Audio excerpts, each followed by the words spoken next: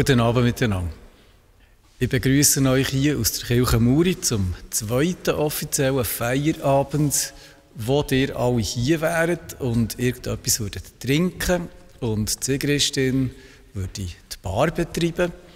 Jetzt seid ihr leider nur im Bildschirm, in unseren Herzen seid ihr aber alle da bei uns. Ich lese euch zum Anfang einen Text von der Oraya Mountain Dreamer. Das ist eine Frau, die in Kanada lebt. Sie ist Schriftstellerin. Sie ist auch Sozialarbeiterin im Bereich von Menschen tätig, die eine Krise bewältigen müssen. Und sie hat einen wunderbaren Text geschrieben, der heisst Einladung ans Leben. Mich interessiert es nicht, wie du dein Leben verdienst. Ich möchte eher wissen, nach was es deine Seele planget. Ob du noch träumst. Und ob du deine Sehnsucht lebst.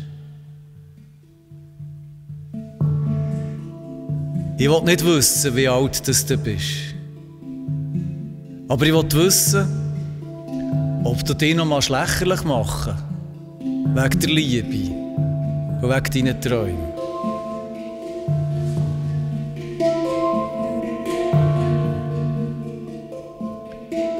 Ich will nicht wissen, was du für ein Sternzeichen hast.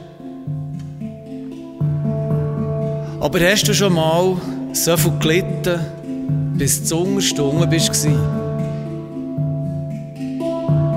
Bist offen geworden, weil dich jemand verraten hat?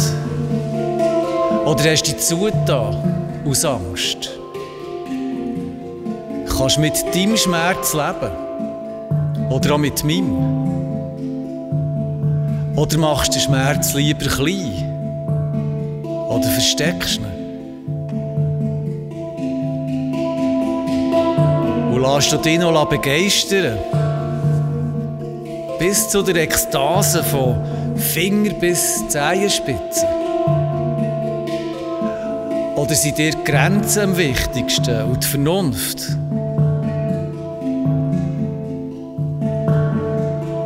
Und wie weit gehst für dir selber treu zu sein?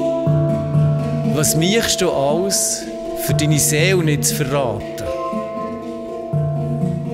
Du siehst das Schöne in all unserem Elend und lebst aus der Kraft von der grossen Liebe. Weisst, ich will nicht wissen, wie viel Geld du hast oder wo du lebst. Ich wollte wissen, ob du nach einer traurigen Nacht aufstehen kannst, auch wenn du erschöpft und kaputt bist, und dann gleich all das machen, was für deine Kinder muss gemacht sein Und ich wollte wissen, was dich innerst zusammenhält, wenn ringsum alles zusammengeht. Kannst gut mit dir alleine sein. Auch dann, wenn ringsum alles leer ist,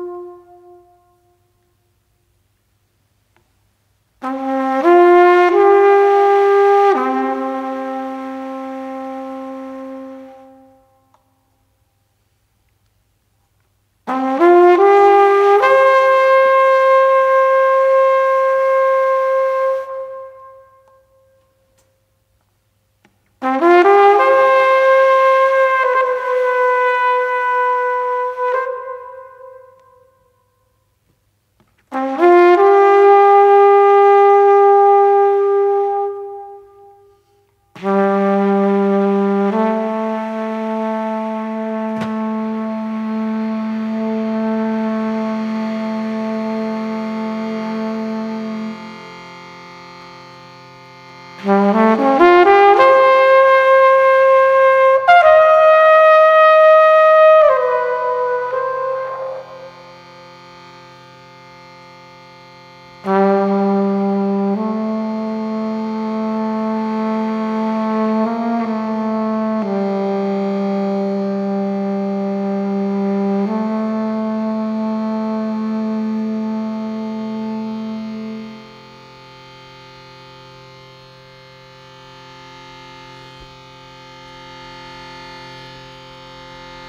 Schaut von Bergen und Tal, flieht schon der letzte Sonnenstrahl.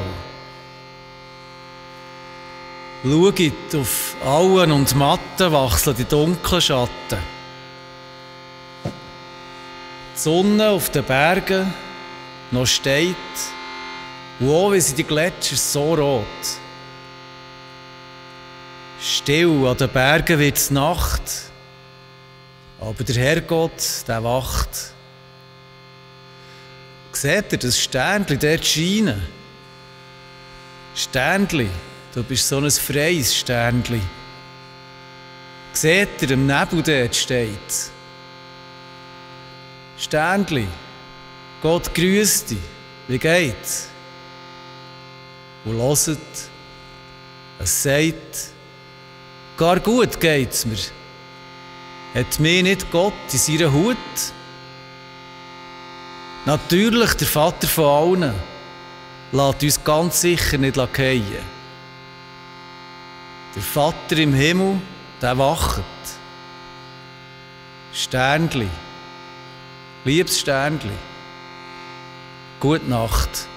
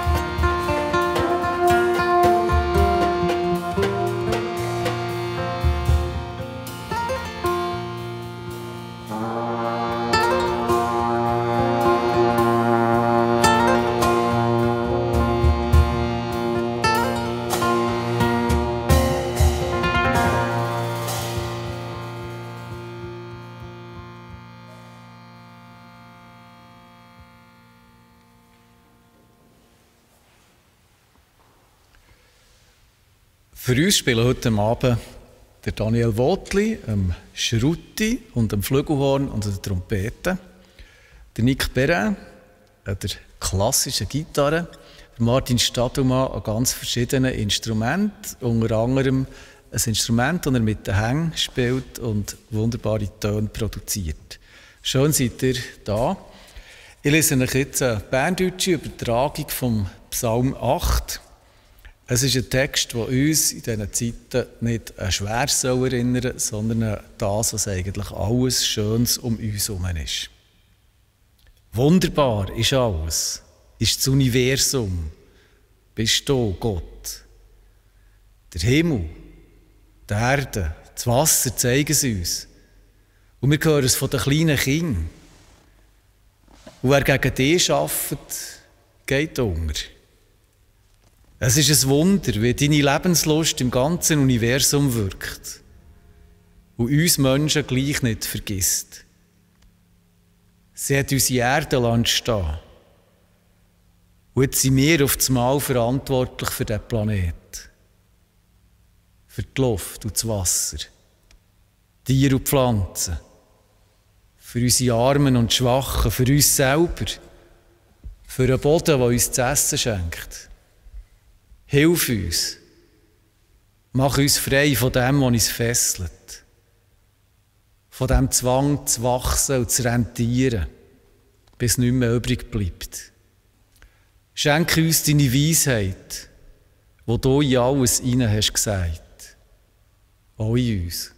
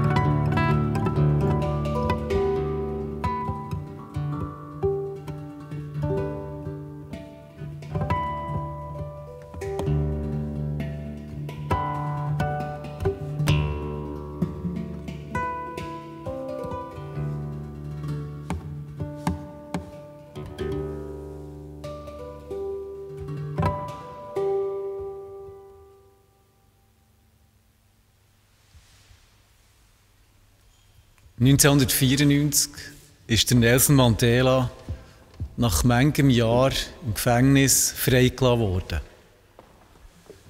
Und er hat eine Rede gehalten.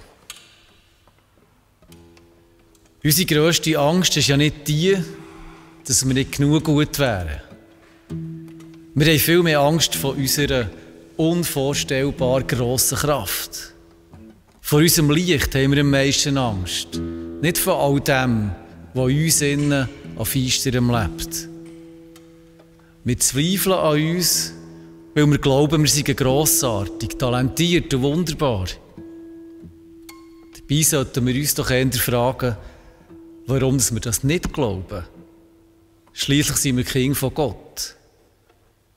Wenn wir uns selber klein machen, helfen wir der Welt keine Bohnen. Es ist nichts Besonderes, sich selber klein zu machen. Genau wegen dem werden andere in unserer Gegenwart unsicher. Die grosse Liebe, die glänzt in uns innen. Und den Glanz, den wollen wir doch zeigen. Der glänzt nämlich nicht nur in ein paar wenigen von uns. Der Glanz leuchtet in uns allen. Wenn wir unser eigenes Licht leuchten machen das andere auf das Mal auch. Je mehr, dass wir die Angst vor unserer eigenen Kraft verlieren, umso mehr werden die Menschen frei, die mit uns zusammen sind.